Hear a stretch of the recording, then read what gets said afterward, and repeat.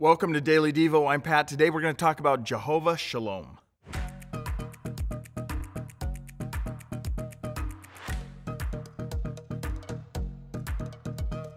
Years ago, uh, two dudes that did pretty well in the music industry sang a song that most of you have probably heard at some point. Now, when I say years ago, I mean a lot of years ago, as in this song was released the year before I was even born. In 1970, Simon and Garfunkel's song Bridge over Troubled Water was released and would win five awards at that year's Grammys. What Simon may not have recognized as he penned that Grammy winning song is that in some ways he was writing about our Jesus. How so, you may ask? Well, one of the names for our God displays that if there was any bridge over troubled waters, it is most certainly Jesus. You probably know that we're spending a few weeks digging into the many different names of God because these titles or names of God will help us know Him better. And when we know Him better, we will trust Him more. And when we trust Him more, we will seek Him further. One of these names is Jehovah Shalom, literally, the God of peace.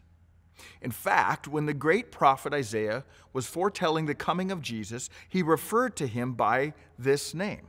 Check it out Isaiah chapter 9, verse 6. For to us a child is born, to us a son is given, and the government will be on his shoulders, and he will be called Wonderful Counselor, Mighty God, Everlasting Father, Jehovah Shalom, Prince of Peace.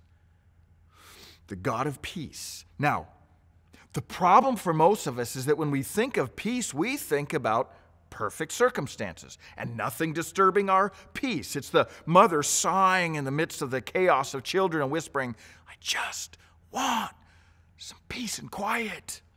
It's the person in the midst of the madness of schedules and deadlines and lots and lots of bad news crying out, I just want some peace and quiet.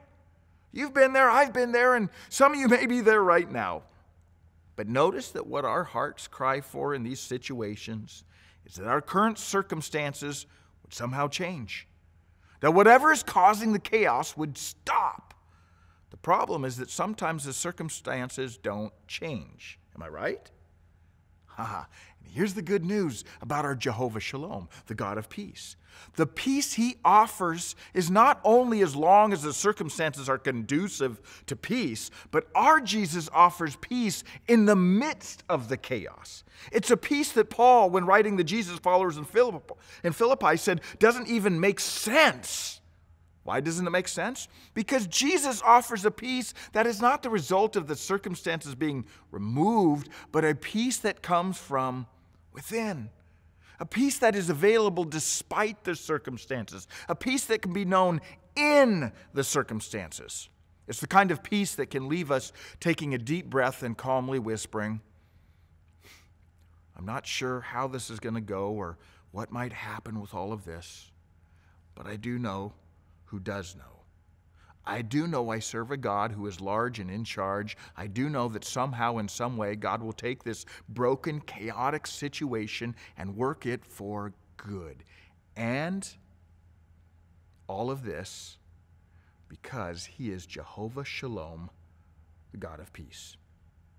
You know and I know that in this journey of life, there is no way to avoid the troubled waters it's not if we will face troubled waters, but when we will face them.